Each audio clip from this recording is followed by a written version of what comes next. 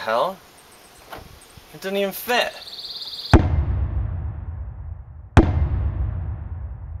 Hi folks, welcome to the 12th episode of Short Track Racer. Now a couple weeks ago, Stafford Motor Speedway and Doug Coby, my fellow competitor, decided that they were going to hold a bidding competition. Anybody who wanted was able to bid on this specific piece. It's an airbrushed hood of Doug Coby's modified tour car. And the proceeds from the bid winner would go towards ovarian cancer research. So we have our crew member Dave. Dave is a very generous guy. He's a big part of our race team.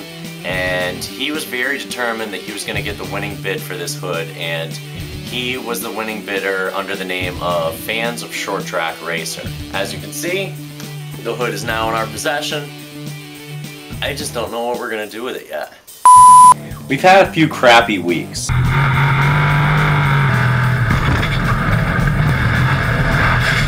It all started out with some tire issues, so we changed our entire strategy around.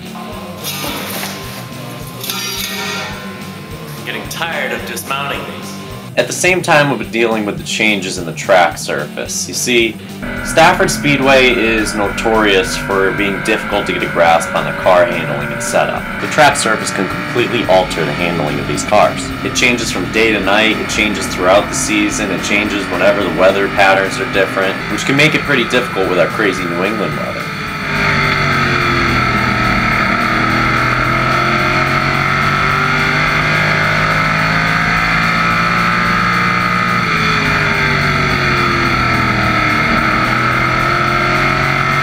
We also found out that we had a wrecked steering rack in last week's race. The steering rack that we usually run. Took it all apart. Found out that this pinion gear, well, not pretty. Chip teeth right here on the gear. So yeah, that wasn't helping things. Anyways, it's been a little bit of a struggle, and I'm not making excuses, because as I've said before, excuses are for bitches.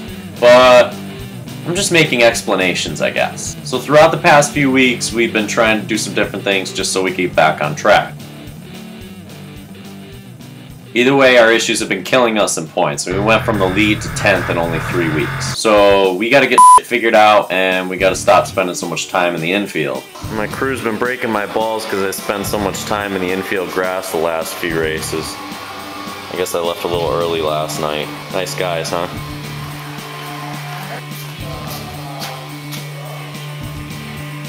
Real nice.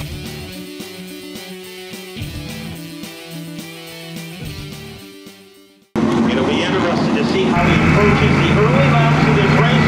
Will he go for the lead? Green flag,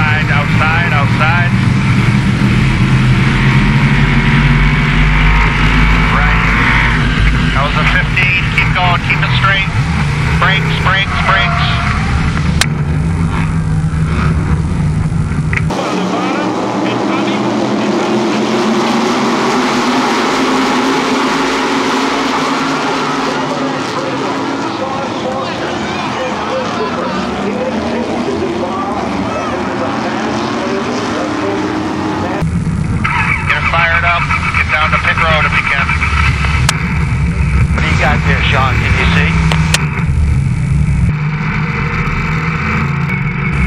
Something's wrong. Running. I have no idea what.